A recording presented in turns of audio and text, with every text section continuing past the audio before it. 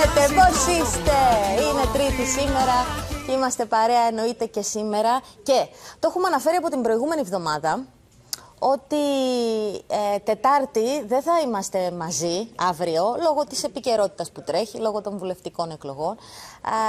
και κάθε Τετάρτη, όπως ξέρετε, έχουμε τον Πάπα Χρήστο μαζί μας. Ε, όχι, δεν θα μπορούσαμε να μην τον έχουμε αυτή την εβδομάδα. Γι' αυτό και θα τον έχουμε σήμερα. Την καλημέρα του παρακαλώ. Πάπα Χρήστο, καλημέρα. Καλημέρα, καλημέρα, καλημέρα σε όλους. Δεν τον ακούω όμως. Καλημέρα στην Κύπρο, μία μέρα, μία μέρα πιο νωρίς. Καλημέρα, καλημέρα. Εγώ συνεχίζω να λέω τα καλημέρα. Μέχρι να επιδιορθωθεί το πρόβλημα. Μ' ακούτε; Μα, Μαρία, πες στον Κοσμά, δεν ακούγεται. Παπαχρήστος μ' ακούει; Ναι, κάτι ακούω τώρα. Έλα. Έλα, Ναι. εδώ είμαι. Ναι, Εδώ. Ωραία, καλημέρα. Καλώς το. Καλημέρα, ακούγεται; Ακούγεται τώρα. Ωραία, ωραία. Τώρα σας ακούω. Τι κάνετε, ε; Πολύ καλά είμαστε. Πολύ καλά, πάρα πολύ καλά. Καλοκαίρι πλέον. Καλοκαίρι και μέσα μας. Έτσι, καλοκαίρι και μέσα μας.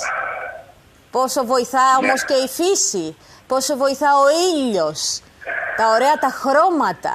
Βοηθάς στη ψυχολογία. Ε, εάν οι άνθρωποι ενώναμε την ομορφιά το, της φύσης με την ομορφιά της ζωής μας, θα ήμασταν ευτυχισμένοι.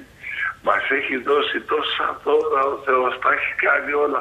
Πήγα χτες στη Χαλκιδική για μια δουλειά στη Μητρόπολη μου στην Αρνέα. Η Ωραία. Αρνέα είναι από τις πιο όμορφες α, κομμοπόλεις της Βόρειας Ελλάδας.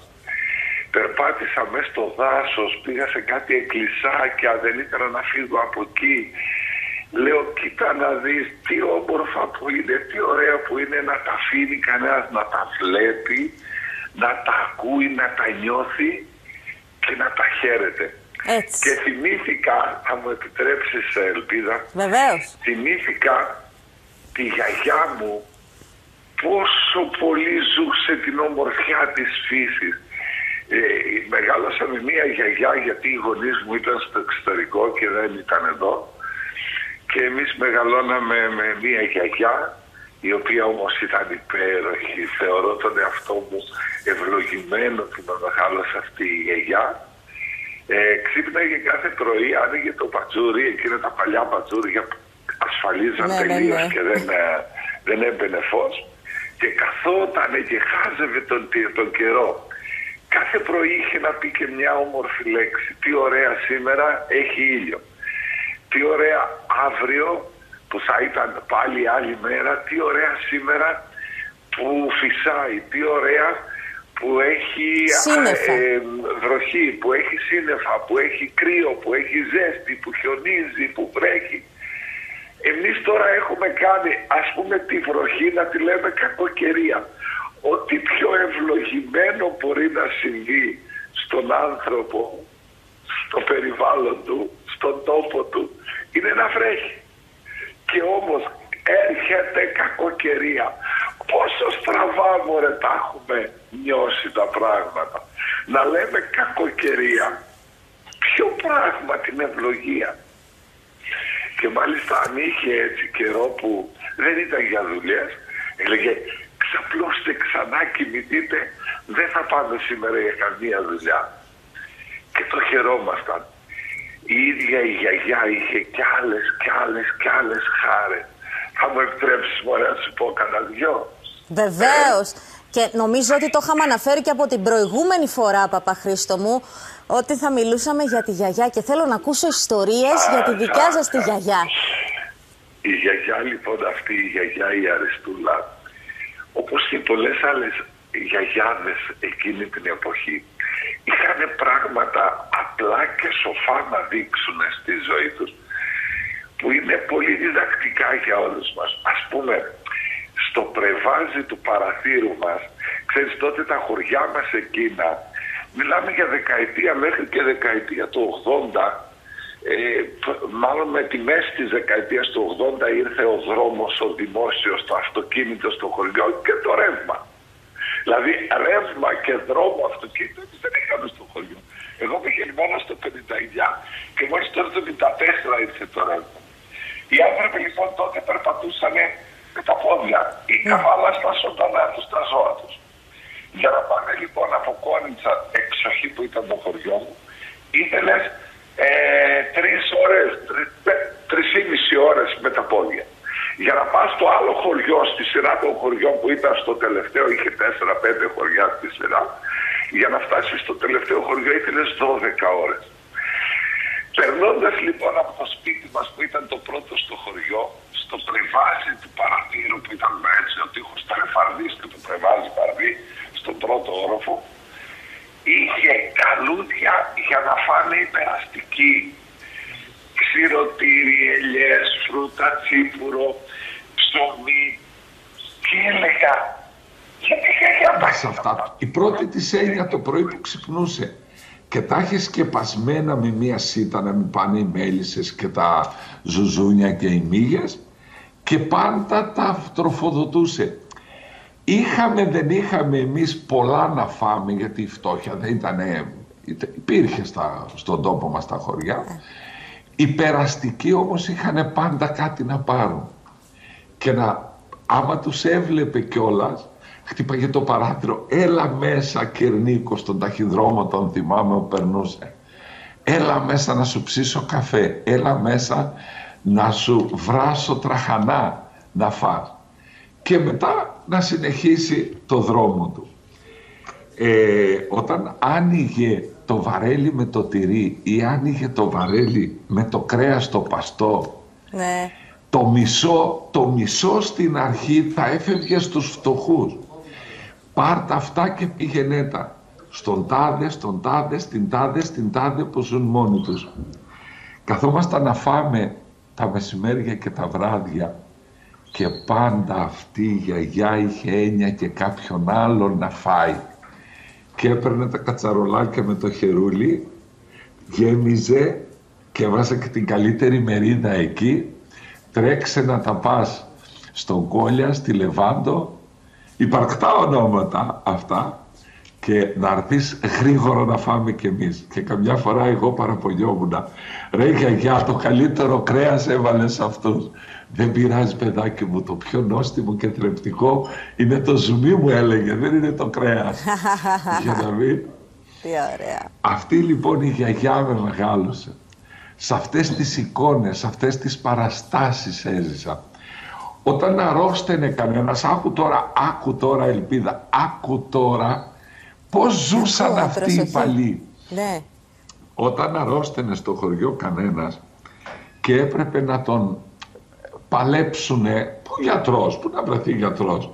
Έπρεπε με τα βότανα και με τα γιατρικά που ήξεραν από τη φύση και ξέρανε πολλά, δεν θέλανε φάρμακα χημικά, ξέρανε να δουλεύουν τα βότανα από τη φύση και είχαν πάντα μαζεμένα στο σπίτι, αλλά και τι άλλο κάνανε που μ' αφορά μωρέ τώρα ως παπά μ' αφορά. Τι, Πηγαίνανε το χωριό, το χωριό είχε 14 εξοκλήσια μεγάλα που τα είχε η κάθε οικογένεια. 14. Άγιος Μινάς, Αγία Βαρβάρα, ε, Άγιος Νικόλαος ήταν η οικογένειά μου, ταξιάρχες, Κυρίκου και Ιωλίτης, Παναγία, το άλλο. Και αυτά τα εκκλησάκια τα συντηρούσε η κάθε οικογένεια, το κάθε σόι.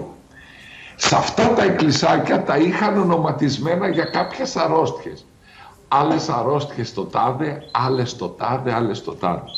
Και μαζεύονταν εκεί για την αρρώστια κάποιου παιδιού κυρίως αν ήταν όλο το χωριό μία, δύο, τρεις μέρες μέρα νύχτα γονατιστή ανάβανε τα καντήλια του Αγίου μέρα νύχτα και ας ήταν πολύ έλλειψη το λάδι, εμείς δεν βγάζαμε λάδι στον τόπο μας, το αγόρασαν και το αγόρασαν πανάκριβο το λάδι, γιατί εμείς είμαστε ορεινά πάνω στην Πίνδο, τα χωριά.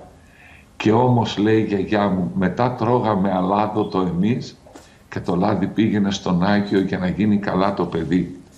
Και λέω, γίνονταν γιαγιά πολλές φορές παιδάκι μου μας άκουγε ο Θεός και γίνονταν, ναι γίνονταν καλά και νιώθαμε μια ομορφιά με το Θεό γιατί το κάναμε καλά. Τις Κυριακές το πρωί, κάθε Κυριακή όλο το χωριό ήταν στην εκκλησία και πολλές φορές και με τα παλιά τα ρούχα και ο παπάς το έλεγε από την προηγούμενη εβδομάδα την άλλη Κυριακή θα φέρετε τις αξίνες σας, τα, τα, τους κασμάδες σας, τα φτιάρια σας ή θα φέρετε τα τσεκούρια, θα πάμε να κόψουμε ξύλα για την εκκλησία. Την άλλη Κυριακή ξύλα για το σχολείο, την άλλη Κυριακή ξύλα για τον παππού τον τάδε που δεν μπορεί να κόψει μόνος του και το χειμώνα έχει κρύο και έχει χιόνια και έχει ανάγκες.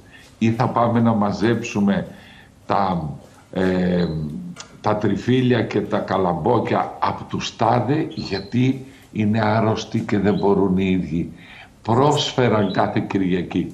Και όταν την Κυριακή δεν είχε κάτι τέτοιο, υπήρχαν και Κυριακές που δεν είχε τίποτε να κάνουμε, μαζευόμασταν όλο το χωριό στο γήπεδο εκεί έξω από την εκκλησία και μετά παίζαμε παιχνίδια, καλαπούρια, τρώγαμε όλοι μαζί, ε, διασκεδάσαμε, παίζαμε ας πούμε οι, οι μεγαλύτερη ηλικίας με εμάς τους νεότερους μπάλα.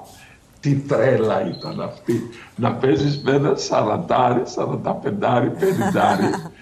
Αντέχανε όμως όλοι γιατί όλοι ήταν προπονημένοι από το, τις δουλειές, από το τρέξιμο, από όλα αυτά και να παίζουμε μεταξύ μας καλαμπούρι, πειράγματα, ποιος θα νικήσει, ποιος θα χάσει, τι δώρο θα πάρει, τι μερίδα θα πάρει από το... Σαραντάρι, σαρανταπεντάρις νέος είναι.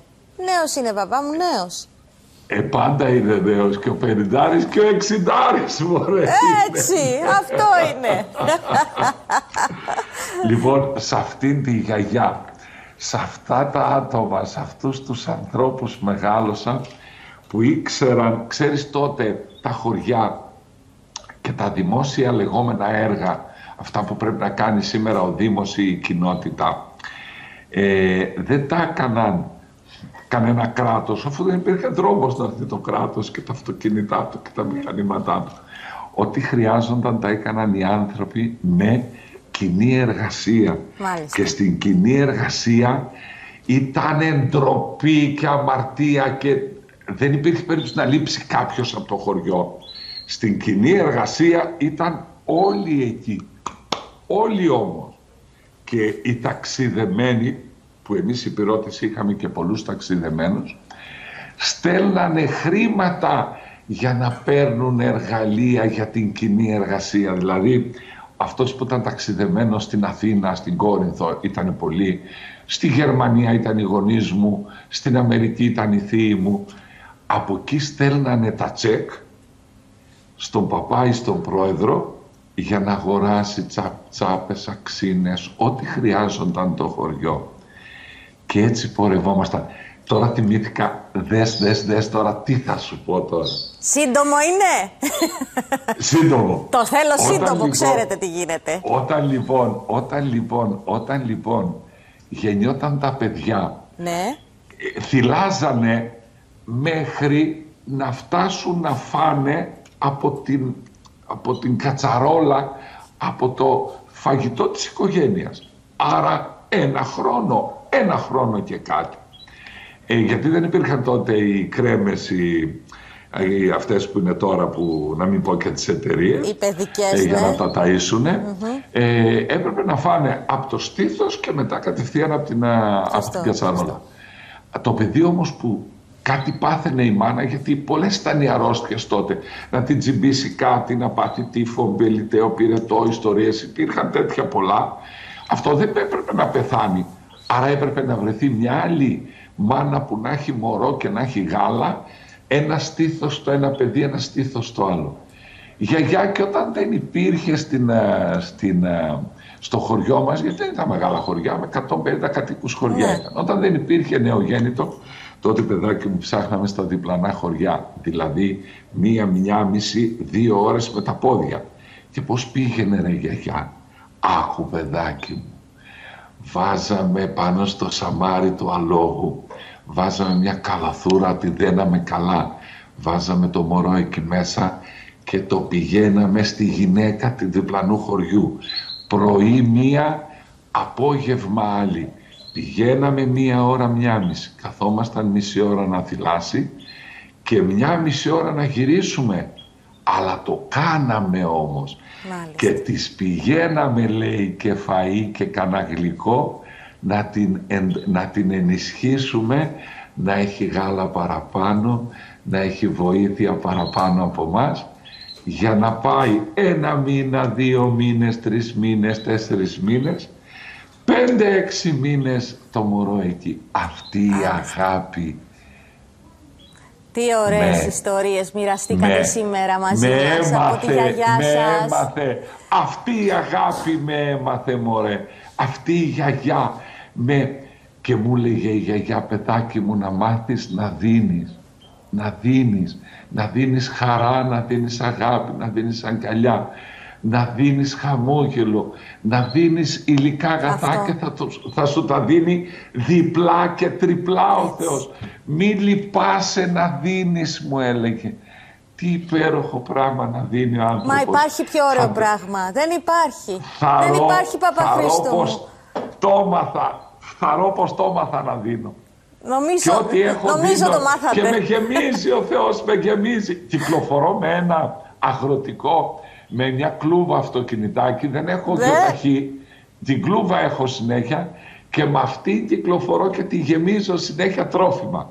Και όπου βρω, όπου μάθω, όπου ξέρω, όπου μου πούνε για μια φτωχιά οικογένεια, δίνω και ξαναδίνω και ξαναδίνω αλλά η πλάκα είναι ότι με γεμίζουν, με ξαναγεμίζουν, με ξαναγεμίζουν, με ξαναγεμίζουν. Αχ, τι να πω, τι να πω για σας, τι να πω για το μεγαλείο της ψυχής σας. Σας αγαπάμε πάρα πάρα πολύ. Σας αγαπάμε. Σας αγαπάμε. Χαίρομαι κάθε φορά που ακούω τις δικές σας ιστορίες.